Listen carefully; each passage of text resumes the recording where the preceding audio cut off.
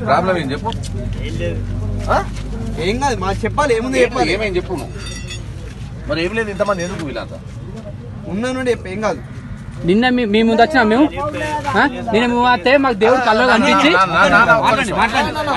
ఏమున్నా కానీ నిజం ఒప్పుకో నిజం ఒప్పుకుంటే పక్క తప్పుకుంటావు. ఒక అబద్ధాలు చెప్పుకుంటే డబుల్ అవుతుంది. చెప్పని. అరే నీ ఆంజనేయుడు పక్కన నువ్వు ఆంజనేయుడు పక్కన పెట్టు నువ్వు నువ్వు జరిగింది ఏం చెప్పు నువ్వు జరిగితే అమ్మాయి పెళ్ళి చేసుకోవడం పెళ్ళి చేసుకోవడం చెప్పిన. ఎవరు చేసుకుంటా అన్నారు? అమ్మాయి. ఎవరిని? ఇగో చెప్పేంత పాడి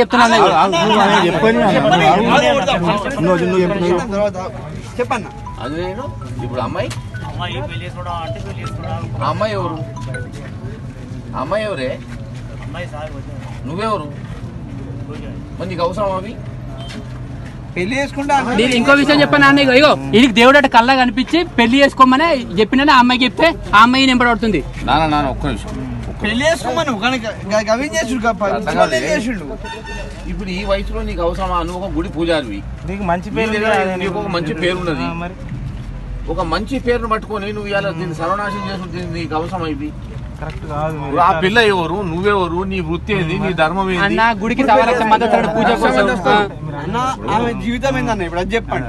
లక్షలాది మంది మా తాలూకే అన్న. మీ నీకు? మా కజిన్ అవుతుంది లంజోకు ఏందన్న ఇది బతుకు ఇది బతుకులో పుట్ట అమ్మాయి విషయాలు ఎవరు ఎవరింటైనా ఒక అడుగుతానా ఎందుకు చేయాలి? ఎవరి విషయం ఎవరి అమ్మాయి అని కాదు ఏ గుడికైనా మనం ఇంట్లో పోతుంటే అద్దనం.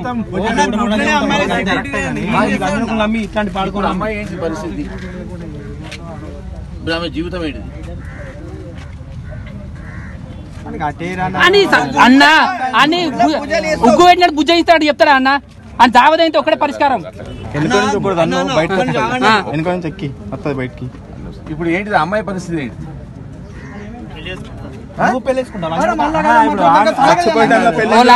రేపు మా బతుకుల మూట? చెప్పండి నువ్వు? అరే దెబ్బ చచ్చిపిస్తాడు పీడ లంజోకి ఇక్కడే. మార్పు కడుపు చేస్తే మార్పు నాశనం చేసిన అక్కడ. మరి ఏం చెప్పన్న? అమ్మాయి జీవితం అన్న.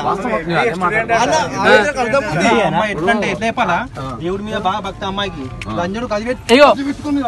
ఆవు పోసలు కూడా అన్న పాప అంత మంచి అన్ని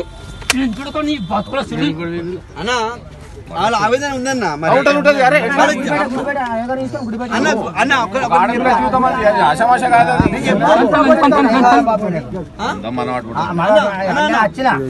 వారం పది రెండు నెలల రోజులకు వచ్చిన అయితే బాబు నీ బిడ్డ నా బిడ్డ అని వీడన్నాడు